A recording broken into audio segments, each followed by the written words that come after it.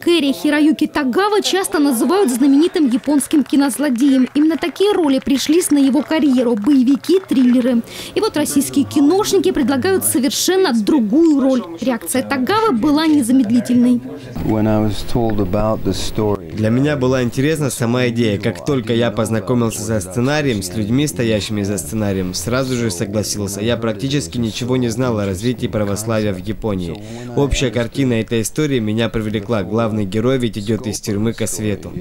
В фильме Егора Баранова и Рисан по сценарию Ивана Хлобыстина Тагава сыграл японского православного священника, который, спасаясь от криминальных разборок, уезжает служить в Россию. Съемки проходили в маленьком селе Ярославской области, где актер прочувствовал суть России, общаясь с простыми людьми, чистыми душой. «Я сам люблю простой образ жизни», признался главный самурай Голливуда. После съемок в этом фильме, после глубоких духовных размышлений, Тагава делает непростой решительный шаг, принимает православие.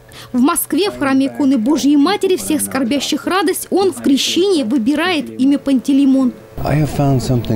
Я уже многое обнаружил в православии для себя, и еще предстоит найти. Прежде всего, мир и покой в сердце и в душе, мир самим собой. Я всю свою жизнь провел в борьбе, в боевых искусствах, и для меня важно найти этот покой, который я обретаю в церкви. И именно в России я переживаю большее уважение к людям и духовную близость.